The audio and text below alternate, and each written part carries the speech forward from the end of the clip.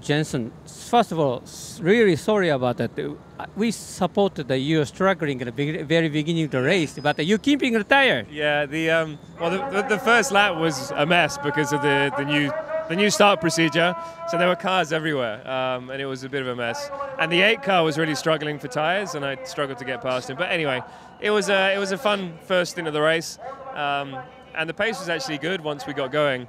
And then I obviously handed over to Naoki, who did an amazing job and definitely the driver of the day here today. So uh, no, it's it's great to get a podium here. First race of the season, um, and it's actually my first podium for five years, six years, six years. So uh, thank you. Is there any the secret things, the F1 technique of the, the keeping tire? Uh, yeah, but for me, the, the dif- dif- difficult part was the first two laps. And after that, then I could get into a rhythm with the car, and the car was good. I mean, it was enjoyable to drive. And uh, it's great to see Honda quick at the first race. You know, it's really important for the, for the whole season. Now we've got ballast, we see how it goes, but the important thing is to enjoy this, this moment and uh, this great result.